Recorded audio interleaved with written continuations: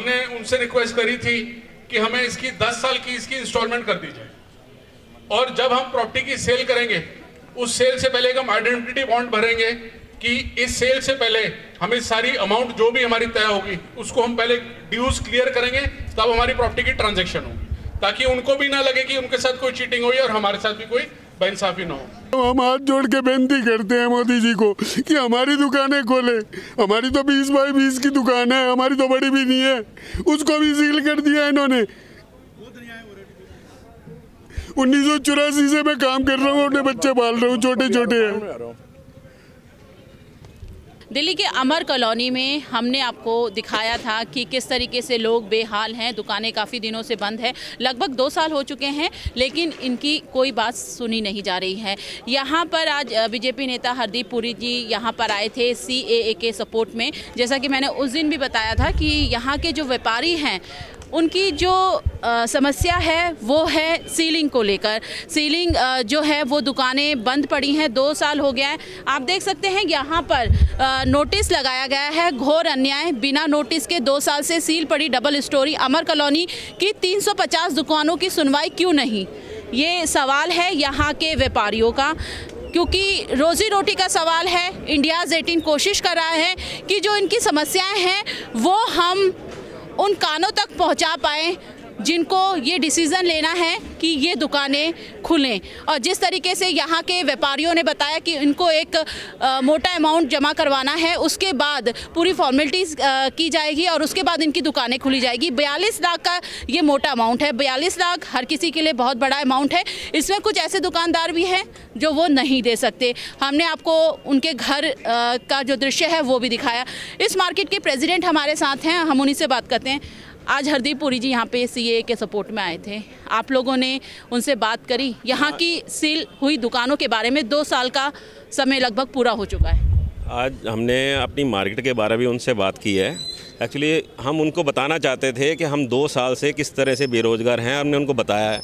और वो जो है, हमें आश्वासन दे के तो गए, लेकिन उनकी थोड़ी सी जो है ना नॉलेज के लिए हम बता दें कि हम जो है ना वो इंक्रोचमेंट में नहीं हैं। एक्चुअली उनका कहना है कि जो हम कुछ लोग जो हैं इंक्रोचमेंट में हैं। और हम अपना जो डेढ़ सौ बाई एक सौ साठ का जो हमारा एरिया है, हमने उसकी पेमेंट दी हुई है। हम उसी मेज़रमेंट के हिसाब से बिल्कुल अपनी जगह के ऊपर हैं।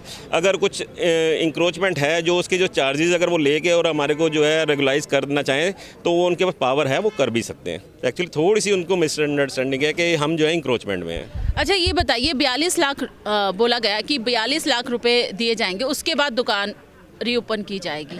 आपको लगता है कि हर कोई दुकान मालिक ये दे सकता है? क्योंकि हालात बस से बदतर होते जा रहे हैं। एक दुकान खुली है बयालीस लाख रुपए देकर।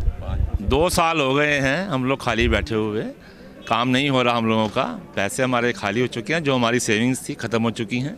बयालीस लाख रुपये बहुत बड़ी अमाउंट है जो हम लोग नहीं पे कर सकते हैं। तो कितना समय लगेगा? समय वो क्या जाके आज बात करेंगे उनसे तो फिर पता लगेगा क्या होता है। आने वाले चुनाव में 8 फरवरी को मैं आपसे अपील करता हूँ वो सरकार जिसने भारत के लिए विकास के लिए काम कर रही है मोदी जी की सरकार अपनी वोट भारतीय जनता पार्टी को दो मोदी जी की सरकार दिल्ली में भी बनवाओ अगर दिल्ली की सरकार और केंद्रीय सरकार दोनों भारतीय जनता पार्टी की होंगी इसमें आपका भला होगा और जो देश का जो विकास है वो और तेज़ी से आगे बढ़ेगा। ये मार्केट का वो एरिया है जहाँ पर असली वजह है लोगों की जो दुकानें हैं वो बंद हैं। उसकी वजह से लोग काफ़ी परेशान हैं लेकिन यहाँ पर जिस तरीके से हमने लोगों की परेशानी आपको दिखाने की कोशिश करी थी अंकल कितने सालों से दुकानें हैं आपकी यहाँ पर? दुकानें तो 25-30 साल से हैं और कुछ जो है बाद में बनी हैं पर जो ये डिमांड है वो बड़ी अनजस्टिफाइड है। आपका नाम क्या है? एस खन्ना है मेरा नाम। और ये जो पेमेंट जो मांग रहे हैं कनाट प्लेस का रेट और डबल स्टोरी का रेट एक ही रख रहे हैं। वो सबसे एक्सपेंसिव मार्केट कनाट प्लेस की है। उसका रेट ए कैटेगरी का है मोस्ट पोस्ट कॉलोनी का। और ये सी टाइप डी कॉलोनी तो ये इक्वेट रेट कैसे हो सकता है? जिन्होंने रेट ये फिक्स किए हैं वो उनके उनके को जस्टिफाइड यहाँ जस्टिफिकेशन है नहीं। और दूसरा एक ये रिपोर्ट 2002 में एक सर्वे हुआ बार बार से। ना किसी में उस रिपोर्ट में लिखा कि उसका रंग रूप क्या था दुकान का उसकी मेज़रमेंट क्या थी। जब आपके पास ये चीज़ें नहीं हैं आज की डेट में यहाँ पे अनऑथराइज भी है। नहीं नहीं नॉन कुछ नहीं सुन मैं बात कर बता रहा हूँ। जो भी कंस्ट्रक्शन है वो हमारी अपनी ज़मीन पे है। अपना प्लाट है। जो अभी supplement lease deed Taneja ji के में इशू करी है, उसमें कोई रिवेन्यू नहीं लिया। इसी इसी चीज़ को लेकर के, क्योंकि आगे की भी ज़मीन हमारी है, पीछे की भी, और ये हमने पचपन में जब लीज डीड बनी थी पेमेंट इनको दी हुई है। और इनको पाँच सौ इकतीस रुपये का इनसे डिटेल भी मांगा हुआ है कि जो लैंड वैल्यू है, हर एक से आपने पाँच सौ इकतीस ली थी वो किस हिसाब से लिए वो, सामने लाओ। जब वो सामने चीज़ आ जाएगी तो इनको खुद ही पता चल जाएगा कि ये सब इनकी अपनी ज़मीन है ये पैसे देने के हकदार नहीं है।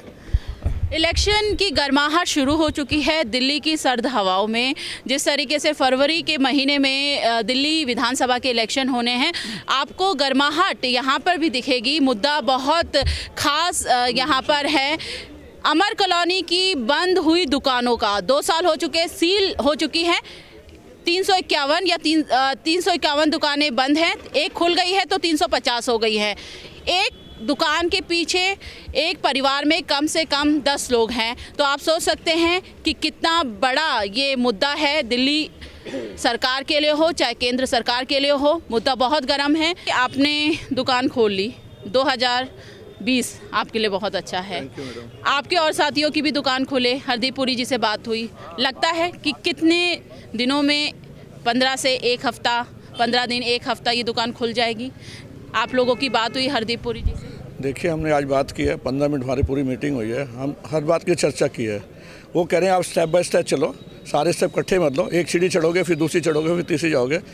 अकेले अनऑथराइज कॉलोनी को उन्होंने रेगुलाइज करवा दिया रजिस्ट्री खुद दी। अब आप लोगों की जो प्रॉब्लम है वो मैंने सर मैंने वही बोला उनको कि हमारी तो थोड़ी सी लैंड है जो आप जिसको बोलते हैं एनक्रोचमेंट है। हालाँकि वो है नहीं हमारे प्लॉट के अंदर है वो। ये प्लॉट अलॉट किए गए थे चौंसठ आदमियों को। वो चौंसठ आदमियों की ही जगह है और वही जगह को हमने यूटिलाइज़ कर रहे हैं हमने कुछ नहीं लिया। लेकिन मॉनिटरी कमेटी के हिसाब से कि ये आपकी जो लैंड है वो कमर्शियल जो यूज़ कर रहे हो आप वो इंक्रोचमेंट में आती है। जो जिसका एरिया सिर्फ़ आठ बाई आठ रह जाता है हर कॉर्नर के अंदर, बाकी तो लैंड हमें देने के लिए तैयार हैं वो।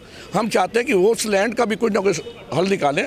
वो मंत्री से हमारी सलाह हुई है। वो कहते हैं, पहले आप अपना ये काम करा लो, इसके बाद उसकी पॉलिसी हम बनाएँगे। मेरे बेटे ने सिर्फ़ इतना क्वेश्चन किया कि आपके पास कोई नोटिस है जिससे आप सील करने आए हैं? तो उसको पकड़ के पुलिस वालों ने मारते हुए ले गए तो मैं अपने बेटे को बचाने निकल गया, बस। मुझे ये पता है, मेरा बाकी का हम सामान अंदर रह गया और मैं खुद बाहर रह गया। मैं दुकान के बाहर ही खड़ा हूँ, मेरी दुकान प्रॉपरली आपके सामने किस तरीके से सील करी गई, क्योंकि मुझे इतना टाइम भी नहीं दिया गया कि मैं शटर भी नीचे कर सकूँ। और टोटली मेरा अंदर आप देख सकते हैं, मेरा माल भी अंदर है, सारा सामान भी अंदर है। सामान तक निकालने का टाइम नहीं मिला मुझे। बाकी आप जो वो कह रहे हैं, हम उसके हॉप पे बैठे हैं कि क्या होता है लेट सी अब हमें कुछ नहीं पता, हमारा क्या होने वाला है, आगे। दिल्ली का इलेक्शन शुरू हो चुका है काउंटडाउन शुरू हो चुका है। हर कोई पार्टी अपनी जीत का जो खेल है, वो शुरू कर चुकी है, लोगों से मिलना शुरू कर चुकी है। अब देखना ये होगा कि अमर कॉलोनी के लोगों की जो दुकानें बंद है, वो कब खुलती हैं और ये लोग अपने रोज़गार पर वापस आते हैं। आज के लिए बस इतना ही, लेकिन आप सब जुड़े रहिए इंडियाज़ 18 के साथ। नमस्कार।